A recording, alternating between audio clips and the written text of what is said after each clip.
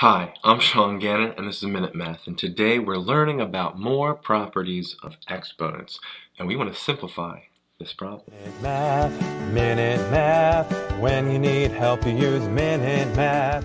2k to the third power, k to the second power, all over k to the negative third power.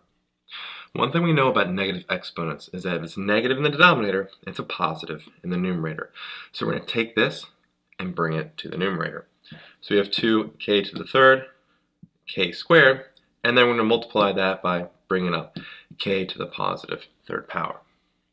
Well, one thing we know with our rules of exponents here that we're practicing, we have the same bases that we're multiplying, we add the exponents. So 2 comes down, we have a k, let's add it up. 3 plus 2 is 5, plus 3 is 8. So our final answer here is just 2k to the 8th power. If this video was helpful, please subscribe to our channel and like this video. This helps us make more free math lessons for you. And as always, thanks for watching. Minute Math, Minute Math, when you need help you use Minute Math. Minute Math, Minute Math, when you need help you use Minute Math. MinuteMathTutor.com